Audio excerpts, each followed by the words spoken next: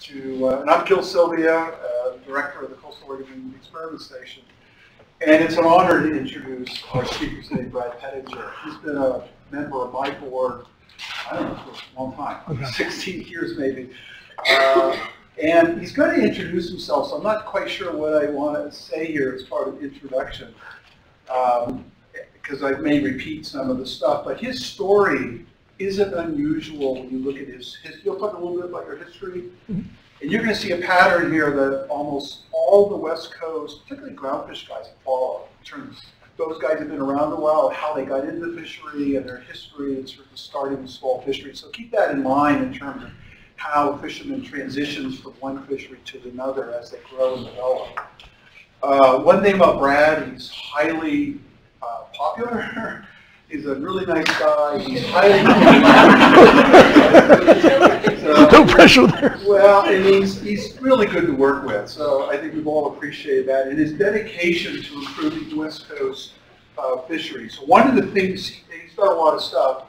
Uh, He was head of the Trawl Commission for 15 years, he's now retired from that, but then jumped into the foray to become a policymaker on the Pacific Fishery Management Council. So he's now designing policies for West Coast fisheries. He's probably, he's really well known for a couple things. He was very, very involved with the development of the ITQ groundfish fishery. Uh, uh, But he's also really well known for developing MSC fisheries. So Marine Stewardship Council is the largest global certifier of fisheries in the world. Um, And he took on a challenge in a couple levels think anyone- anyone thought possible.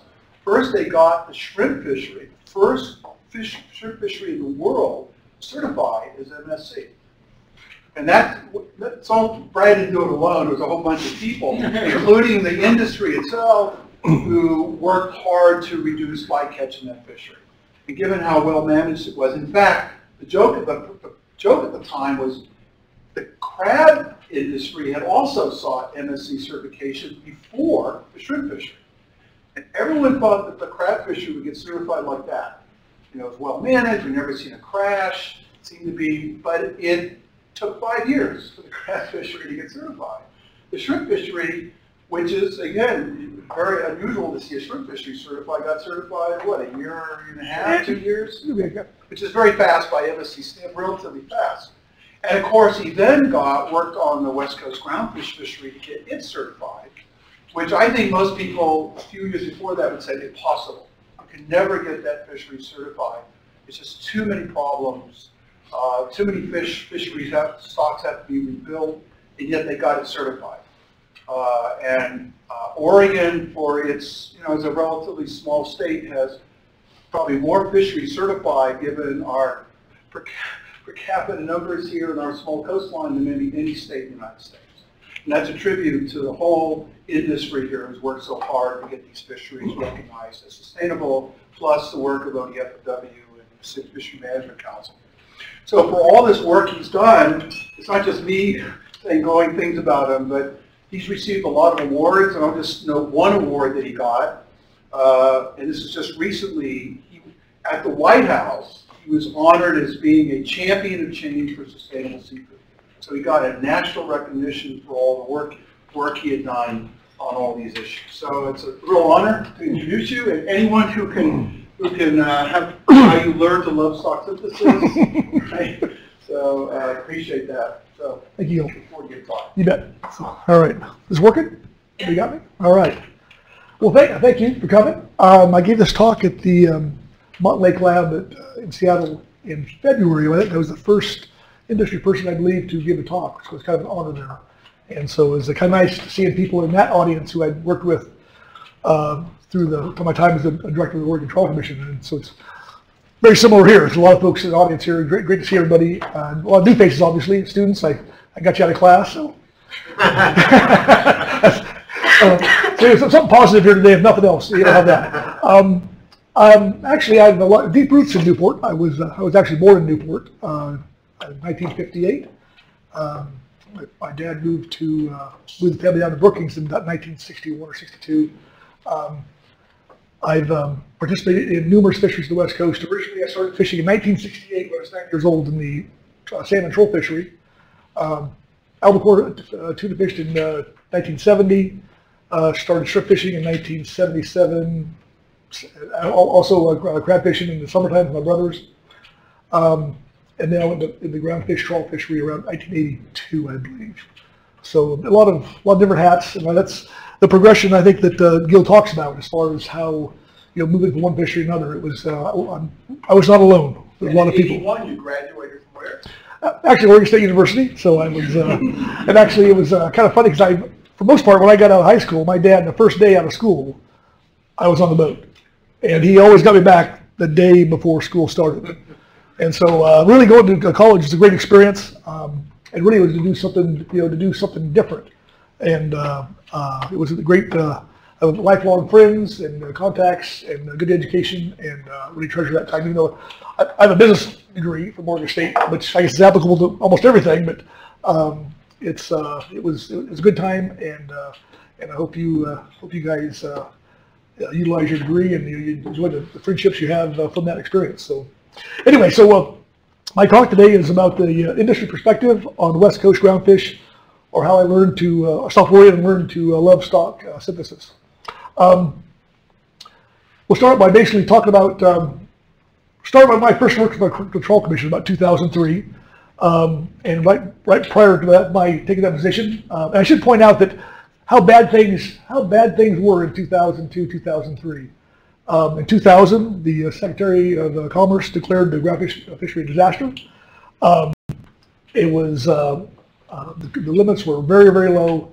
Um, shrimp prices were, as far as people who also fish the uh, shrimp fishery, uh, market was horrible. Prices were extremely low. Um, crab seasons weren't that good. Um, and it really wasn't, nobody made no money, and it was just really kind of a hopeless situation. And so actually, I, I, I became the Oregon Trawl Commission Director.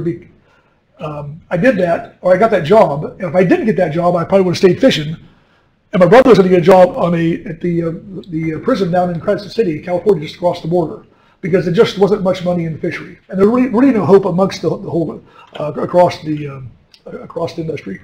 Um, anyway, um, I think it's interesting to say or see the, uh, the, uh, as far as the groundfish collapse, as far as what the reason for that. Uh, basically, uh, Penny Dalton, the NMFS uh, director, talked about how the basic lack of basic scientific uh, data about uh, fish was uh, one of the main reasons. And also, it's really important, I think, of this talk is to talk about um, they would like to work with fishermen, um, and we'll you'll see why that was. Uh, here's this talk proceeds. Um, so how bad was it? Um, well, that's kind of the, the uh, what would, I guess the graph, I guess the uh, Secretary of Commerce may, might have looked at when he made his declaration. Um, obviously, a lot of stocks are overfish status, um, and actually it got worse from there. Um, 2002, so we got another round of uh, uh, some more assessments came in, and uh, um, not a very pretty picture. Um, this year's landings um, on the west coast, uh, the blue line is overall in, in the groundfish trawl fishery. And then this is non-whiting, so this is just soles, rock, uh, rockfish, sablefish. Uh, if you look at it, it's about let's see, 110,000 metric tons, about almost a quarter of a billion pounds a year were coming in. Um, and then by uh, 2000, we're down to about uh, 85 million pounds, and it went down from there a bunch. Um, so just not a great place to be in. Anyway, so on top of that, um, we really uh, got attacked by a lot of the NGOs who were not very happy with the trawl, the groundfish trawl fishery, um, and it was um, uh, a lot of uh, a lot of hyperbole. I think it's interesting. It's about clear cutting the forest to catch a squirrel, but for the most part, if anybody's familiar with the trawl fishery, we're basically going over the same spot over and over again every year. We go always go back to the same spot. So I guess we're clear cutting those every year. But anyway, um, a a lot of uh, bad press, and we certainly had um, baggage. I mean, obviously, um, almost that much baggage, actually, comes right down to it. Um, but we had a lot of issues that we need to deal with, and under the system we had, we really couldn't do it. A lot of, we had a lot of, a lot of discards, a lot of regulatory discards, uh, which I would say that most of the fleet just, I mean, no, sorry, everybody hated that, that, uh, that happening. Um, but the, really, the, the system we had really wasn't made up to, uh, wasn't made to uh, be conservative. Um, because if you have 50 different species and you bump up the limit, you stop fishing or you keep fishing, throw some fish overboard. I mean, just not just a horrible situation. Um, and also there's some habitat concerns that weren't being addressed. And so the good thing about when you're at the bottom, is there's no place but up, right? And so the fleet had been working on a number of issues over time. Uh, in '94, before 2000 uh, dec- uh, declaration, um, we had a um, a uh, um, limit entry program where we dropped from over 500 groundfish trawlers on the west coast down to about 350.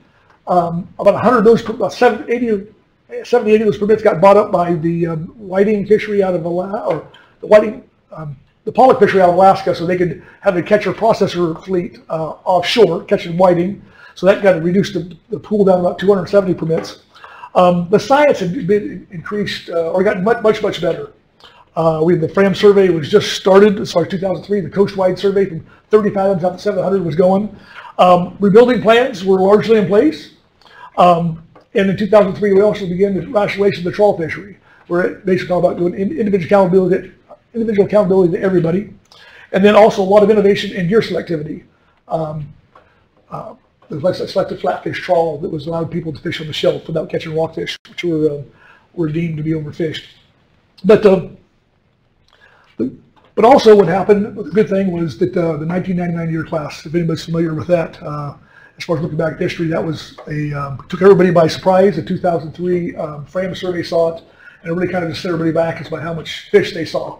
Um, that was the, I believe from the, uh, we had a big El Nino in 98, 99, the cold water, and it really just jump-started the entire coast. Um, but there really was a kind of a, um, a realization that we didn't get into this situation overnight. I mean, uh, these fish take a long, uh, they, they live a long time. We don't catch that much in a given year, but over time you can uh, knock that fishery down. But if you do, it takes a long time to bring them back up. So we realized that we're going to be here for the long term. Um, so in 2006, uh, with uh, help from uh, well, number, numerous people in this, this room, uh, we established uh, Fish Habitat Protections. Um, and then um, also we, um, uh, the catch share program came online in 2011. And the 2000 catch share program was uh, great in a lot of ways, uh, conservation-wise. We had 100% observer coverage. I know if, uh, I'm sure most of you in this room know that uh, there's a observer uh, or a camera on every groundfish trawler on the west coast. So every, um, so they see, basically there's no, no unknown removals. Um, and with that, the fleet becomes 100% accountable. And so, uh, and, I, and when that happens, people change behaviors. And so, uh, in, in a good way. Um, discard the target species dropped to less than 5%. And I think I was talking to uh, Brad uh, Warren, who was uh, editor of Pacific Fishing Magazine uh, for a number of years. And he said, man, that is your rock star status. It just blew him away. I blew a lot of people away, actually, what we could do. And so, um, and because really, when, you, when the removals are fully known, that's a huge unknown taken out of the equation. And it really helps, uh, helps guide us as far as dictating what we're going to have for future quotas. Um, Anyway, so we're going along here, so we have, uh, obviously that 2000, uh, or the 1990 year class, you know, it was starting to see up, show up in the industry, uh, and we're starting to see lots of fish. Um, uh, dramatic increases in catch. Um, and really, we, um, we never really got credit from the things that we had done. I mean, basically, you know, we rationalized fishery, we reduced the fleet, um, and we're still getting beat up. And then, from the industry pers- uh, perspective, it was this guy here, it's almost like whack-a-mole, right? And it's, um, it just, it just, like we never got recognition, and it was pretty damn frustrating as a, as a, as a, as a fleet, as, as individuals. Um, you do the right thing, and you're not getting credit for it. Um, even though, I say, the, uh, the National Academy of Science, uh, there's uh, 2000 or 2002, they had a, a study or a, uh, um, uh, they had a, a report on, on trawling and said basically that do three things to um, minimize or uh, mitigate uh, any impacts from trawling. You reduce the fleet, you close areas, and you modify gear. And we've done we've done all that and, and more, I thought. And so um, it was pretty frustrating. So um, as an example, um, in Monterey, um, Monterey Bay Aquarium, people are very familiar with the seafood watch list, um, they had rockfish listed as red listed as caught by a trawl, and sole was yellow listed.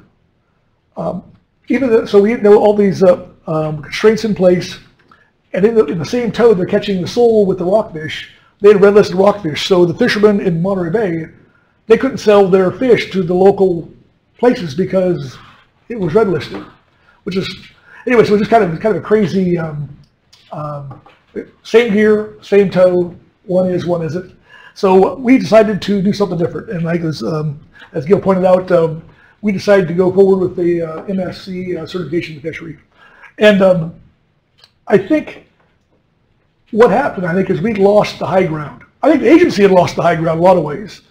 And uh, so we had to find a way to reclaim that. And uh, I had familiarity, familiarity with the MSC program from the shrimp fishery, which we had rationalized or certified in 2007. Um, and I understood what that certification means and what it looks at. Um, because really, as a resource extractor, you know, fisherman, um, we have a social contract to do what we do. And I think most people, they kind of lose sight of that. And sometimes you have to renew that social contract. And to me, that's what the MSC certification meant. Because if that, the gold standard in the world for certification, if they're good with it, everybody else should be too. And so um, we went, uh, I, I talked to my guys into going uh, forward with that. Um, and there were a lot of doubters, as, as uh, Gil uh, mentioned. But I, I understood uh, that um, what the, what's in MSC's three principles, stock health, management of the fishery, and the effects of the fishery. And really the, um, the council process we have is almost, it's perfect because it looks at every single thing uh, in depth. And um, it was, uh, uh, we checked every box, virtually every box. Um, so um, anyway, so we, um, uh, we got certified in 2014. And so um, anyway, we certified 13 species, the biggest certification uh, species-wise in the world. Um, we had more information than ever seen before in one fishery. Uh, kind of blew them away. It took a long time to uh, to do it. Um, a lot of uh, um, yeah, actually, I had three scientists. They actually had five to, to go through it all. Um, anyway, so we had uh, some great press from that. So being a little bit of vindication as far as uh, what we'd seen the previous decade. Um, and or they even took us off their red list. And actually, we're still kind of on the red list, but if you notice on the fine print on the right, it talks about excludes Marine Stewardship Council certified fisheries. So I guess that was kind of a, anyway. Um, but uh, but it was a, um, it, was a, it was a big day for the fishery, a big, big, a big day for me personally to get that done.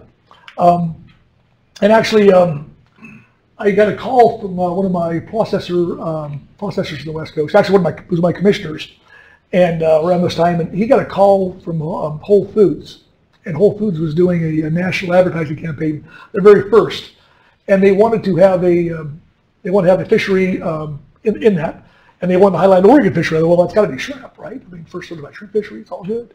Um, nope, they wanted to do MSC groundfish, which kind of I talk about if you look at Whole Foods and who they are, the groundfish fishery, trawl fishery, um, to get them to say that, you got to admit that MSC certification pulled a lot of weight and actually uh, it, it, convinced folks that um, helped. It, it, did everything I envisioned it would do. Um, and so, if we could, I'm going to play uh, two uh, two uh, commercials. The first one is the anthem. Just one second. Um, 2014 first game of the World Series displayed. So think about that. I mean, the, I don't know how much that would cost, but it would be far less than we paid for that certification. So That's the right one, correct? that's it. Yep. We are hungrier for better than we ever realized. We want to know where our food comes from. We care what happens to it along the way. We want to trust our sources. We want people and animals and the places our food comes from to be treated fairly. The time is ripe to champion the way food is grown and raised and caught. So it's good for us. And for the greater good too. This is where it all comes to fruition. Where values matter. Whole Foods Market, America's healthiest grocery store. That was probably the best day of my professional life.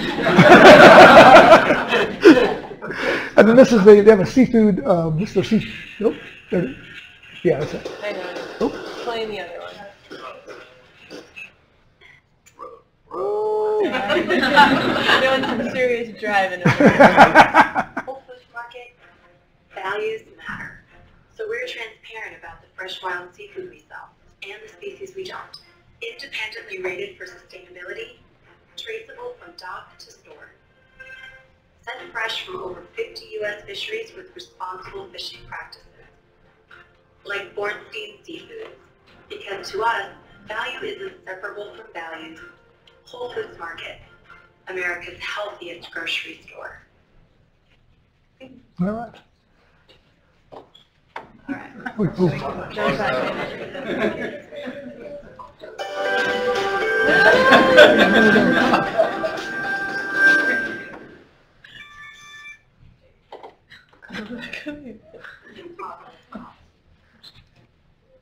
Hey, Okay, so where were we at? we're right at, do, do, do, no, no, no, right here, right here, right here. All right. We're back in. All right. All right. So, um, that vessel was an Oregon trawl vessel out of Warrenton.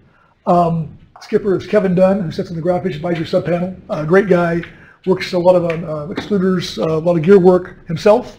Um, he um, um, was a great uh, ambassador, I think, in the whole process. Um, but it's interesting. Did anybody notice anything about that picture the uh, that um, anything stand out in the, that, that, uh, those, those videos as far as the fishing side? Um, that was a fine print in the contract that Whole Foods signed and did, and, and, and did not um, did not realize that. So Kevin was thought, well, he's just going to go out and he, he knew a place where you get like about 5,000 pound to, to a trolley. You knock it out, and bring it in, and boom, and it'd be done. And so um, they had this conundrum because they actually couldn't catch fish and kill them when they put them on the boat, making that thing. So Bornstein Seafoods froze, I don't know, like 5,000 pounds of fish. And IQF'd them, and then they brought them down the boat, and they shoveled them into the cod end. to the Parker Street, they rolled that baby off. so anyway, it was um, it was it was pretty funny. Uh, but really, I mean, it's um, uh, it's kind of cool because uh, an Oregon trawl vessel, groundfish trawl vessel, was held up as the example of sustainable fisheries in the United States, and uh, that's really um, oh, that, that's really because a lot of people uh, in this state, in this room, uh, did a lot of work to get, to get us there. And so it's, um, it's you know, they, they village raise a kid. It takes a village by only to, to, uh, to uh, manage a fishery. And there's a lot of people. I, he talks about that, uh, the, uh, White House deal, and it's a great honor. It really was. But uh, the, really, it's just like somebody, they had to identify somebody to represent everybody involved. And I just happened to be the guy who got the short straw on that. Although it was pretty cool. I will say that. It was pretty cool. But really, my talk, um, um, I guess we'd love to work with fisheries right now, but really I need to go back in time a little bit to the um, to uh, the 70s, where disco was uh, king, and al- along with salmon, and really get a perspective as far as how we got to where we were as far as the, um, the science side of things. Um, in the mid 70s, the Magnuson Act uh, passes, right? Um, the shrimp fishery became fully developed. Um, I think uh, in the early, late 70s, early 80s, I think it was like 300 ground or no, uh, shrimp trawlers on the Oregon coast made landings. 300. Give you an idea, of like 75 in the last 10 years. Um, the Triennial Survey, um, the NMFS, um, really the first the first real groundfish survey they, did, uh, they started was 77 to 2001. They did kind of the most of the coast. Um, and actually, that was a Alaska class vessel that uh, had a, uh three bridle high rise net with bobbins, no disc in between uh, the bobbins. And originally it was going to be a rockfish survey, and they didn't work worth a damn for that. I think, maybe, maybe a hake survey, then a rockfish survey, then they just made the triennial survey for everything. And it really was just a horrible, um, horrible way to um, survey uh, groundfish in its entirety. Um, we also had a major El Nino in 82, 83, and I think everybody thinks that the 80, 97, 98 was a big one. Um, I think the 82, 83 was bigger as far as the impacts to groundfish. Um, and then um, from that, El Nino became the buildup of the groundfish trawl fleet because all the shrimpers, because shrimp goes away when you have a big El Nino, and so landings drop precipitously, like down like I mean we average 25 million pounds a year, went down like 4 million, I think. And so everybody is running into the, the groundfish trawl fleet. Um, I was fishing out of Coos Bay in 1982 or three, something in that, that time frame, 83. And uh, there was 50, over 50 trawl vessels in Coos Bay alone. Uh, it's just amazing how many, everybody's just piling in on it. So anyway, which kind of got us to where we got in 2000. But anyway, also the Alaska um, Fishery Science Center slope survey begins because the, the triennial survey only went out to 180 fathoms or something like that.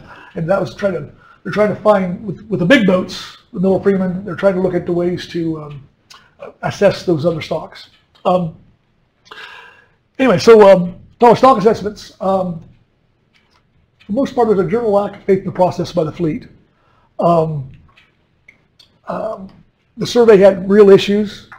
Um, there's a lot of complaints about the model. Um, and um, talk about, talk about uh, Ivory Tower as far as the scientists, they're up over here and they're- really not really talking to the, the, the fishermen and they don't know anything. Not much communication going on. And um, Ivory Tower like that. So it's always good. To, I, I looked a long time to find that uh, the right one. So I think that, that's a good Ivory Tower. But really, um, um, if you've uh, the reality was that that uh, if you've ever been to Montlake, um, that's not quite the Montlake average, but it's not very far from that, at least during that time period. So um, I tried to get one of the original what, what they had back there before they condemned them because of the mold, but it was. Um, uh, but uh, I think if you ever you got there, the notion went away pretty uh, pretty quickly about Ivory Tower. Um, anyway, but uh, with that, there's just a lots of frustration in the process. And really, it was mostly over uh, the species right here, sablefish. That was probably the one that really drove. You know, sablefish was part of the, the, the uh, DTS complex, uh, pretty very valuable uh, fish uh, species. Um, and really, um, no one's like they no one's talking, and uh, there's always accumulation going on. And I, I think that's probably probably a pretty good picture as far as where everybody's coming from. No one's really seeing the same picture. Um, and actually, um, um, one guy actually kind of started this, built this log jam, get things going, and um, that's this guy. And so that's, uh, you know, I, I showed this picture to him yesterday. I was in a meeting with him. Uh, I'm, uh, I'm on a cable committee meeting, uh, on a cable committee in Oregon, and he's been, I've worked with him 20 years plus. And um, he was uh, not happy because he, uh, his, his, his, what he was saying is, how come the fish I'm throwing away, you're not seeing that survey boat? And so he got in his car, he drove to uh, Sand Point, and he went up there and said, hey, I to talk to the fisherman's rep on that, on that, on that survey boat. And so um, he was, uh, one of the, it was Gary Stauffer, I think. And uh, Gary says, well, we don't have a fisherman's rep on that boat. And so um, he says, well, he says, you, uh, you want to go? And so, um, and he says, yeah, I do. So he made, a, eventually made four or five 10-day trips on the Miller Freeman, that vessel right there. And uh, it was pretty apparent uh, early on from the fishermen that he uh, saw there's issues. Um, the doors are too small, the wire is way too big. Um, the net would start spreading for the first part of the 30 minute tow, I think. It'd be 17 meters of spread. And by the time they finished up, they'd have 8 meters of spread, which was the width of the boat. And so it was obviously the gear wasn't working. And um, anyway, he, uh, he shared that information with the fleet. And that got the fleet stirred up because they're all seeing the same thing he's seeing. That's what's, what's the fleet do? They pick up the phone and they start calling and they start, I mean, it's, it's a big deal. Um, and so, uh, what we basically, what we needed was, um, better information. And so with that, they put pressure to go, uh, to, well, that pressure led to the pilot, um, oop, there it is, the, uh, uh, pilot trawl survey with industry vessels. And so, um, so now we had industry working with, with the agency. And um, I'm not saying there wasn't a few issues at first. There were obviously every every uh, every survey. Um, um, but they and I think some guys got joked about there's almost a um, they call it a bottle hunt because the gear was was digging because it wasn't adjusted properly, and so. Um, um, and, and the industry wanted to use a two-seam net, which is the kind of Eastern, which a lot of guys, most guys use.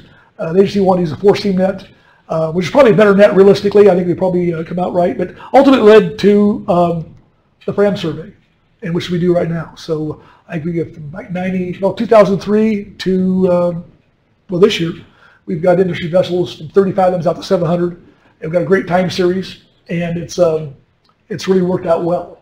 Uh, so it didn't have, we didn't get there by itself. It happened fairly organically with pressure in the fleet, and um, we, we got to a, a good happy place, I think, for the most part. Um, a few thoughts on the um, FRAM survey. It's very cost effective. Um, industry vessels, um, we have four vessels normally. This year we're only down to two. Uh, so we're probably going to have to go back, pick up the phone and go back to DC and try to get that fixed. Um, but we've got 20, almost 20 years of, uh, of landings. That's a, a time series like that is worth a lot. Um, it really is. Um, and it's, uh, yeah, say it's very well thought out sampling protocols. It has uh, random, uh, random blocks it hits. Um, like there's 700 blocks um, up and down the coast from the Canadian border to Mexico. Um, it matches the gear with the right size vessel. Um, and really it facilitates the, um, the communication between the fishermen and the scientific community. Uh, you basically for, you know, for four plus months, you get industry with scientists sitting down talking um, and breaking bread. And um, I think there's a lot of advantage that we just don't, uh, you just don't get from anything else. And, and really, it builds a lot of trust in the fleet because they know that they're, the fleet's working with the agency uh, to make it right. Um, anyway, so um, it's really great. I, excuse me, a really great example of how to partner with the um, uh, agency Department of Fishing Industry to improve management. And it stands in contrast to a place that I visited um, about a year, year and a year and a half ago. And that would be, if people are familiar with that, that is uh, the, uh, Carlos Boats in New England. Um, I was in the New Bedford about a year and a half ago um, on EM workshop. I it was last year. We get old time flies. Um, anyway, we're trying to increase accountability, accountability in the groundfish fleet. They have very low observer rates, six or seven percent, something like that. Um, not much trust in the fish, in the fishery side to what the, the stock assessors, stock assessors are saying. Um, um, they got industry, uh, the, the, the, big white boats doing the, the surveys, um, and it's just really a huge disconnect. And um, it's really sad because they had we had our trawl gate in the, the mid '90s when uh, Gerald went back out on the on the uh, Miller Freeman and saw what was going on. Made a big round. Industry got together, put pressure on it, and changes were made, and everybody got on board. I think to a to the betterment of everybody. Um, New England had trawl gate in 2002, very similar, but nothing got done. Nothing changed, and that's really um, really um, telling because really they come to that, that path in the road are you going to go the right way or are you going to go the wrong way? And I, I think on the West Coast, we took the right. I think they took the left because they also rationalized. They've got a um, catch share program themselves. Um, it was more forced on them because they weren't doing the things they need to do. Um, and so, but the problem, the, the problem that is, is there's a parallel track. You got science and you got management, and they have to go hand in hand. And what happened with us is we started, we got our science corrected or on the right path early on prior to being rationalized. And so um, when you have a rationalized fishery, you're 100% accountable and you have, well, but within a day you know what, what you, you caught. Um, you need really good science to feed that. And so if you get in rationalized fishery like the East Coast right now, when their science isn't very good, and they probably don't have a very good handle what's in the water, um, you can shut that fishery down immediately. That's why they have 6% observer coverage, because no one wants to be an observer, because they see more fish than the, the are seeing. And so for us, um, we made the right decision. We improved our science, or got it on the right path, and then over a period of time, we got rationalized.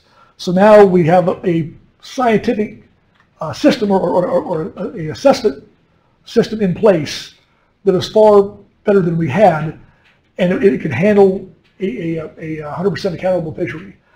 I'm not sure what they're going to do in New England. It's going to be really hard because how do you show them that fish is there? I think that um, if you look at, well, I, someone asked me, what, what would New England do if they had a FRAM survey, a time series like, like we have, 20 years of what we got? I mean, there's a, it's worth hundreds of millions of dollars to think about because there's a lot of fish being stranded in the water. Uh, and they're just in a situation. I don't know how they're going to get out of it. I just, I just said that. Just, you know, we had on this, this, on this uh, fish or this coast, we're much more homogenous. I, I'd say we're kind of like mutts here in the West Coast, right, for the most part. But back, I mean, um, there's no. Um, I think on the East Coast you have Italians, you have the Portuguese, and they're very isolated as far as I don't think they talk that, that much to each other. And there's fairly, um, I think the, the, communities are kind of isolated. Portugal isolated between each other. I, I can't get a feeling for that. Here, when we went through our process, we had, uh, like the Fisherman's Market Association was like 250 boats belong to it. So we had one voice going in the right direction to fix things. And so there was a, um, it was, it was hard to push back against that when the majority of the fleet is wanting something to get done. And there really was no one voice in the East Coast I, I didn't see pushing those changes to be made. Um, so anyway, um, I tell you what, I feel really glad that I'm from the West Coast because uh, I think we're about to solve the problems. I think we're in a pretty good position, and uh, it's. Um, I really feel bad for the folks back in the East Coast. I'm not sure how they're going to get out of that. I really, I really don't. Um, so the future, I think, for the West Coast is pretty bright. Um, groundfish stocks are in great shape. Um, if you look at the across the board, um, they probably average about 65 or 70 percent of B0. Uh, so pretty pretty good shape for the most part. Um, the biology of groundfish is very um, advantageous because we only take a little bit out of the water each, each year. You got El Nino, uh, warm water, you know, you can handle those um, unproductive periods far better uh, with a long-lived species as long as you're not taking too much out of the water. Um, I think catch shares are inherently uh, precautionary um, because we are very seldom ever uh, approach a, um, a uh, the quota limit. Um, and I think a long time, a long time, a long time series trawl survey is it's like money in the bank, and that's why uh, we're very protective of that, and we're hoping to, I think, get four boats on the water next year because we can handle a year or two of only two boats, but at some point in time, that, that information can degrade, and uh, that'll be a bad deal if that happens. Um, on top of that, technology is advancing rapidly. Um, I was talking to the folks in the agency, talk about like environmental DNA, I guess, right? I mean, they just take a water sample and you find out everything that's in the water. I mean, it's um, they got ways to go with that, but it's kind of crazy what we uh, technology can do for us. Um, and really, the relationship between the science industry is, good. I think it can be better, uh, but I think we have a really good um, uh, working relationship, and we're uh, we're uh, happy to. Uh, um, well, I think um, anything we do to make that better, we're willing to do it. And uh, our, I said our, doors are always open. Um, there are some storm clouds in the distance. I think that um, our fisheries depend on sound science, um, and I think there's a danger of complacency. And I think that that I got survey, FRAM survey, I think is really a big deal uh, because it's like say we can get by a year or two. Yeah, we probably can, but um, at some point in time, it's going to be an issue. Um, funding will not be any easier. Um, I know I, I uh, point out that, uh, an example, um, California uh, does not, has not been doing their sampling of um, the dockside sampling of like lingcod um, leading up to the 2000, well, last year's assessment of uh, southern lingcod. It went, assessment went into- um, or that species went into the, uh, the star panel at about um, 75%.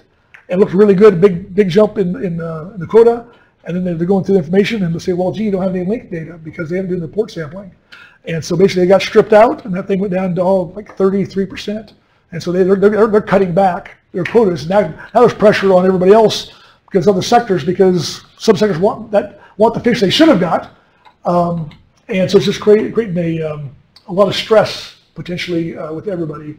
Uh, and really, I just highlight that everybody in this process works their ass off, pardon expression, doing the right thing. And really, one weak link in that chain can just screw everything up. And I think we all, we all should be mindful of that. Um, and so with that, agencies need to count the cost and basically make wise decisions as far as how those resources are, added, are allocated. And so, um, and so I'd like to finish this uh, talk with a um, talk with these guys here. So a lot of folks near retirement, a lot of young folks are going to go into this uh, this business, and um, really like to hold these guys up. Uh, if you don't know them, uh, it's too bad. Uh, you if you're seeing the docks or they're around, you ought to. They're just great folks. Um, one on the left is Bob Hanna, the right is Steve Jones, a longtime fisheries biologist, Oregon Department of Fish and Wildlife, um, and um, they ran the shrimp program for the ODFW. And I don't think people realize that these guys here probably are responsible solely for saving the uh, shrimp fishery in the West Coast, and you don't even know about it. Um, they started working on the bycatch reduction in the early 90s, uh, soft panels, playing around. Just didn't have much money, but they just saw an issue. At that, time, that point in time, we're catching a lot of hake, a lot, a lot of hake bycatch in the shrimp fishery. I think some years as high as 60% of the catch was hake in that fishery. Um, so they worked out every, every year, and it's about like 2002, I think they'd actually come up with the, uh, the rigid grate uh, um, as a bycatch reduction device. It worked really well. That was really good because in 2002, the canary fish or canary stocks were declared overfished, and the total catch of canary for the west coast is 44 metric ton. Mind you that the catch of canary rockfish in the 10, 15 years earlier was four, 5,000 tons. So you've got the fishery constrained all fisheries to 40 ton of, of canary rockfish. Uh, on average year, I think they'd catch 25, on a, uh, sometimes up to high as 50 ton. Uh, that fishery would have been closed down without those two guys doing the work they did, collaborating with the collaboratively with the fleet. Um, also, they worked on um, um, LED lights with uh, Mark Lomeli right there, Mark, who um, basically was uh, kind of helped us jump another uh, another uh, get, uh, another obstacle, and that was the eulachon smelt. Um, in in um, British Columbia, that fishery there gets shut down every year uh, because of um, eulachon bycatch, and so uh, a lot of um, the tribes uh, on the on the Columbia River were pushing to get it uh, uh, listed as an endangered species. Uh, it was listed like 2011, 12. Anyway, can't, anyway, um, and so that mean that uh, that we had to be very mindful how much snow was being caught. So the grates, the the Department of Fish and Wildlife went to a, a three-quarter inch grate, so anything bigger than three-quarter inches would go out the top. Um, and that, uh, and that, uh, that got our, our, our bycatch down by 60, 70, 80%, which is still catch a lot, I guess in the grand scheme of things, when, to some folks. Uh, put us in kind of dire straits, uh, for that fishery, because, uh, we were number three, I think, um, number three on the list of impacts to the, the stock, even though it was minor compared to, um, to the land issues.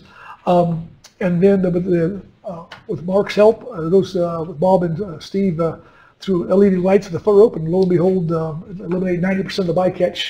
Uh, the, from the the level they had taken out with the, um, they were excluding seventy percent of the eulachon, the lights took out another ninety percent of bycatch was removed. So anyway, it's probably the biggest bycatch reduction success maybe in the country ever in fisheries, I would say. Um, anyway, so that's, um, um, so I guess moving forward, I'd say that there, even though, um, you could do, you could do a lot, um, or basically you could do, and don't undersell yourself as far as your impacts to uh, fisheries. Uh, and I would encourage you to, um, if you're working in fisheries, to look at the fleet. Um, they have a vested interest to make sure this goes right, long-term interest, and I think that um, it just makes uh, everything better in the long run. And so, um, anyway, I think that's, I think that's it. I think it is. So, anyway, thank you. So, more questions?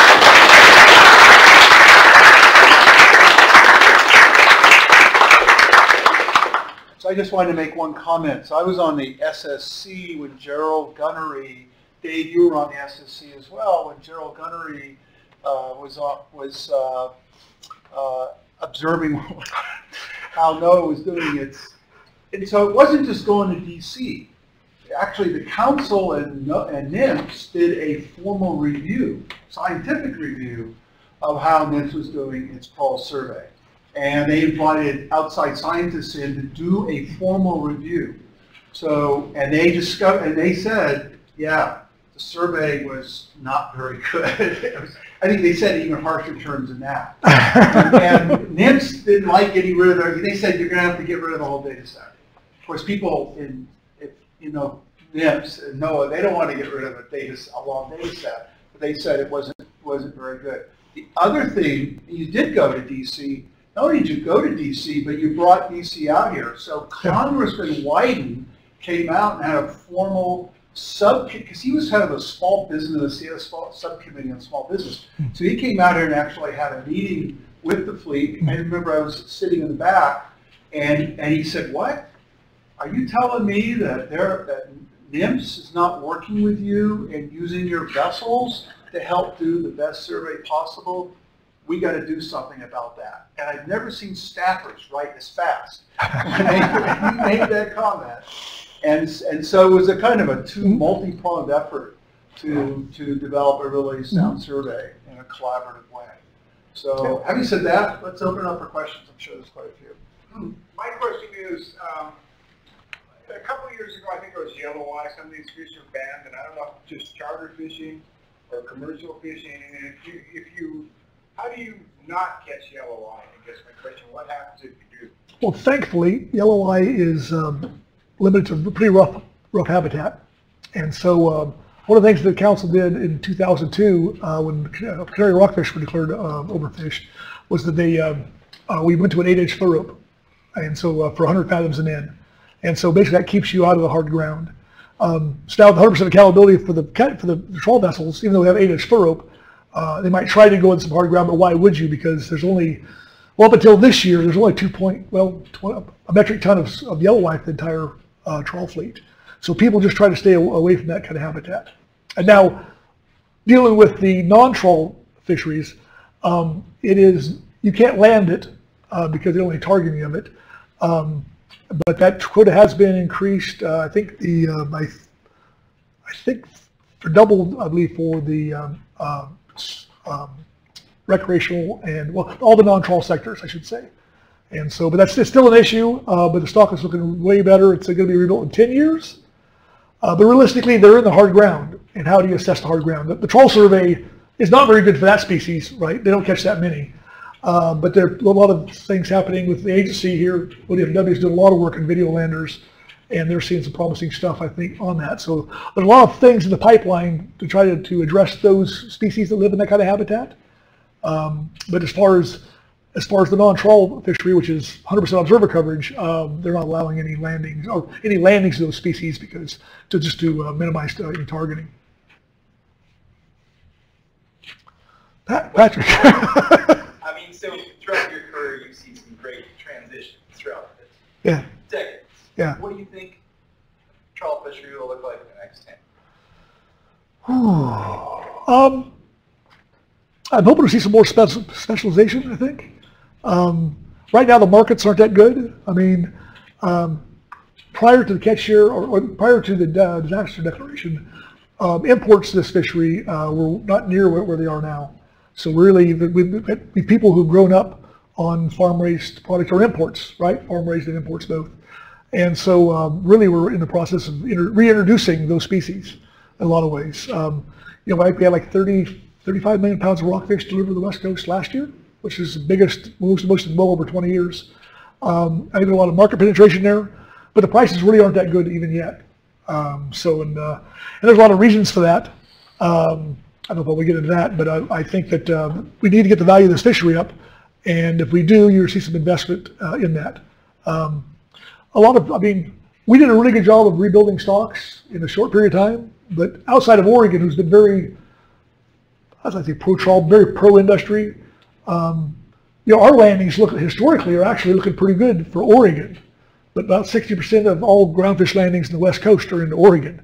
Uh, but so there's a lot of states really fall, not where they should be, and a lot of infrastructure's gone. I mean, I, I like, I, I could say with a lot of confidence that it's probably harder to process, catch and process uh, fish in California south of 4010 than it is in a third world country. Because they're just, there's no, it's so expensive, right? Those, those infrastructures went away and it's been developed and it's just so hard to get it back because there's just so much money involved. It's worth so much money to some, to, to some other endeavor. And so um, it's really a tough situation. So Brad, you might mention positively groundfish as a... Yeah, yeah, yeah. Um, actually, when um, the 2000, uh, when 2016, when the new numbers come out for the, um, for like we had tremendous increases in um, um, in rockfish quotas. Um, we um, had a meeting here in Newport actually for the uh, the Trawl Commission meeting. and We basically had all the industry folks in the same room, um, processors, industry. Gil, you were there. Um, environmental groups saying, "Hey, we've got all this fish in the water. How are we going to get it out? Because you just don't turn that spigot on. It just doesn't work." And so from that, we've started a um, a nonprofit to promote uh, groundfish. It's called Positively Groundfish. We want a, a positive name. It's got groundfish in it, and we succeeded. but um, so we've hired a, uh fantastic um, individual, um, named Jana Hennig, who had uh, 10 years uh, work in corporate uh, marketing in uh, the UK, who um, who um, after working in the uh, London Olympics for uh, for a year uh, prior to it, the games, I took so much time off, went down to a fisheries, like Ceylon or Madagascar, someplace, four or five months and volunteered for a fishery improvement project, and uh, she fell in love with fisheries, and uh, she actually uh, went to Stanford, uh, got a master's degree in marine studies, and so she's applying that um, newfound love for the, uh, the, the for fisheries, and uh, she's been our uh, director. She's doing a fantastic job. So anyway, so we had to the process involved that fishermen, um, OSU, um, we got, um, uh, EDF, MSC. MSC, uh, anyway, so it's, uh, been really exciting some of the stuff we've been doing. And actually, it's interesting, I don't know, has anybody ate raw rockfish? Raw. Raw. Well, I have, I tell you what, I, I think it, shame on me, and probably shame on the rest of the fleet, never probably underestimating what we're catching. Um, because uh, we've been, uh, we've been four, four shows this year, I think. We did the Port Seafood Wine Festival, kind of get our feet, you know, wet, and see how things went. And then uh, there was, uh, she went to uh, the Anaheim um, Natural Food Show, big show, with 60, 70,000 people. And then Boston Seafood Show, which I went back there and helped her. And then Northwest Food Service Show. And so they've been serving rockfish crudo. And so basically, it's uh, like a little, slice off of a rockfish fillet, um, little sea salt, some greens, a little seasoning, and some like and some brown butter, a little bit brown butter on that thing. And I'm telling you what, shame on me because that is absolutely crazy. I mean, I've been to zillions of shows, right? I, before I was director of Trawl Commission at the Fisherman, I was actually the, on the Crab Commission for 10 years. Oh, heck, I was the chair when we started doing the MSC certification of the crab fishery before I took on the, the, the Trawl Commission job. And um, the, the result, I see people try that dish, that, that raw rockfish, it's the same look that people give me when um, when you have the, the, the first time someone's tasted a Dungeness cra- uh, crab fry leg. It's just that good. And so, I mean, really, if, if, if you want to how good fish is, have it raw. And so, I mean, actually, I thought it was greenies, but they're, they're doing brownies, which really kind of threw me off. Uh, so um, anyway, a lot of positive stuff happening. Uh, uh, there's some uh, Japanese folks came to um, Bornstein's market, or the seafood plant up in Bellingham, and they're talking about different species, and they said, "What you, what do you flay?" I said, "Well, you know, rockfish. Oh, could we try some?" So we went down, and got a flay, chopped it up. Here's the bowl, some chopsticks. They're mowing it. I said, "Wow, this is crazy good." "Eh, What is it? Well, it's widow rock. Widow rock. You think about that, there's no name for widow rock in Japan. I guess that would be the that would be the fish of your dead spouse. So, so, so I mean, there's probably things marketing wise. I mean, we're thinking about that. What do you? Maybe we should rename it.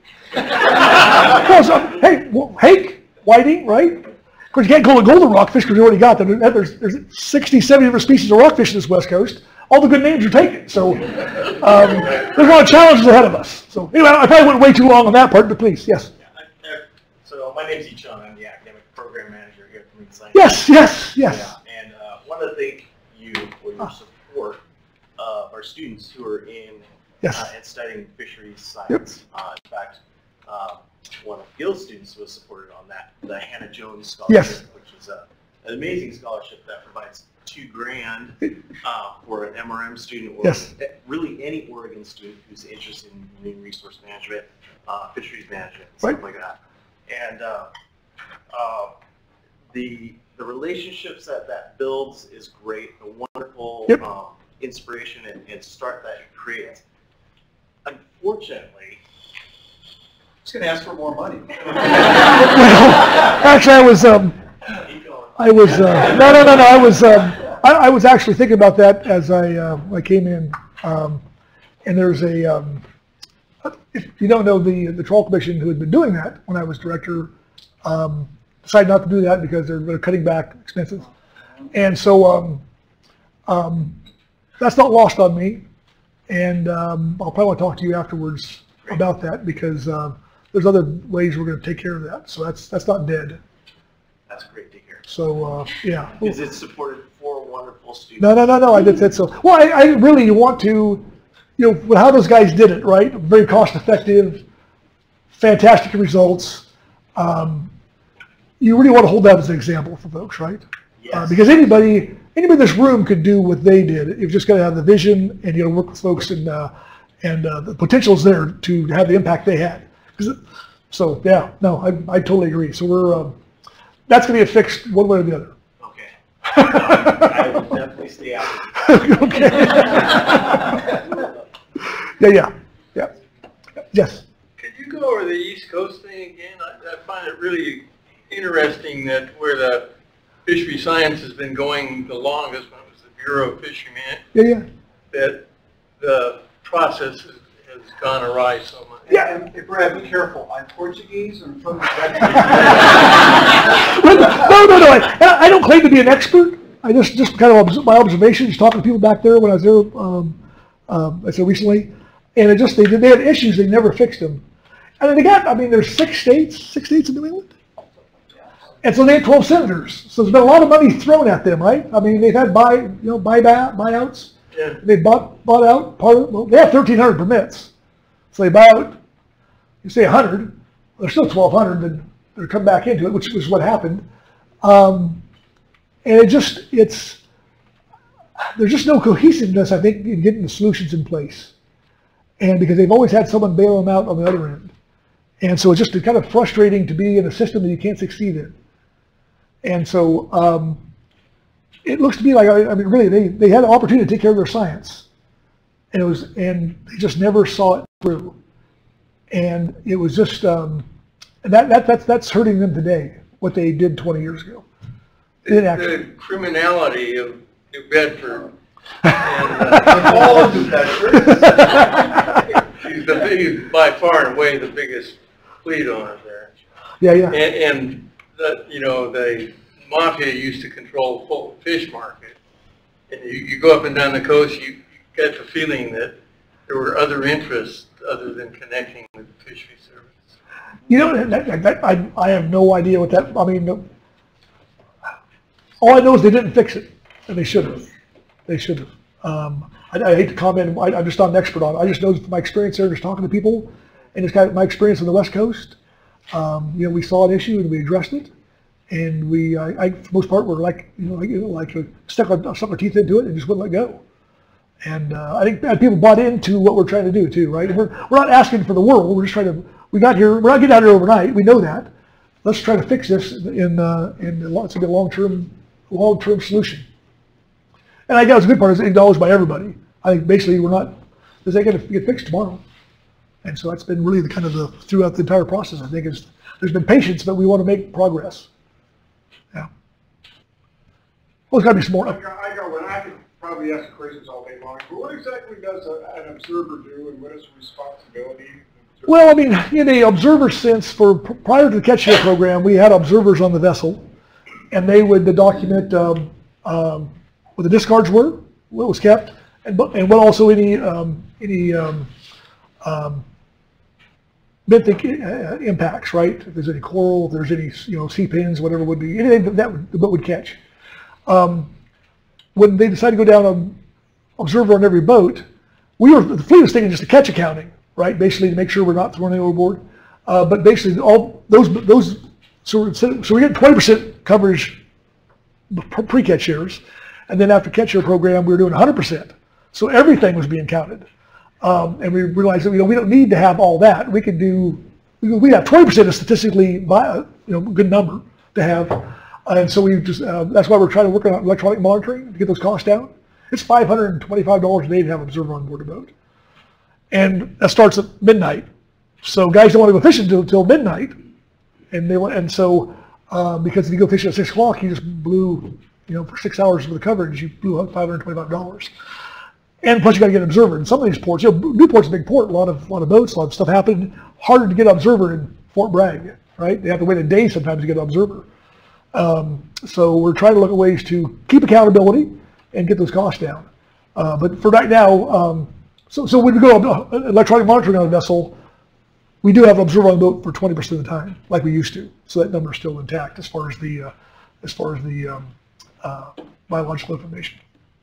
Yeah, sorry, Claire. Um, You mentioned the strong year class after, El Nino, soon after El Nino. 99, yeah. And um, is there a consensus on what sort of food web changes that lead to that?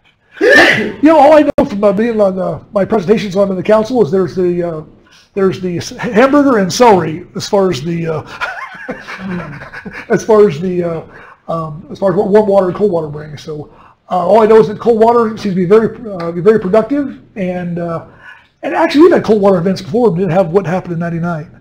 Because really to me it's like what happens. I've never seen an assessment that ever said that predicted a year class, a big year class. Um, so we really don't know what makes all those stars line up to get those tremendous year classes because they don't happen very often. But when they do, they just re-energize the entire uh, North, the California current. Um, you know, I, I, obviously the food web is way better shape, but there's other things going on there too, and I'm not sure it's, you know, so much information, we get so much more information we used to. you get this, um, this cable, uh, the, um, yeah, right? And so they're taking information out of the water column, you know, nine times a day, the entire water column. Um, at some point in time, we're gonna put that all together, and we're gonna really understand what makes this thing work. And that's gonna be, very- that's exciting, really. I mean, that, uh, to get that. Uh, because if we can do that, that's gonna take us into the, I mean, we can really, um, maybe not for ground fishing much because it's so long-lived, get up, up into, uh, uh, up into uh, maturity to harvest, but a lot of, a lot of species are fairly short-lived and we could, uh, would benefit us greatly. So that's one of the efforts back in DC, by the way, is to get funding for the Newport line. I think it's where you were heading with your question.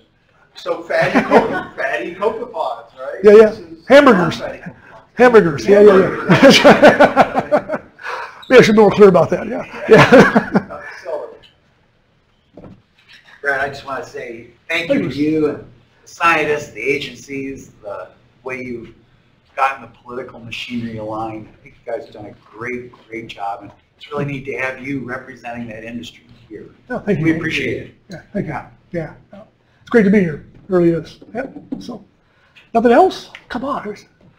Uh, So anyway, another round of applause.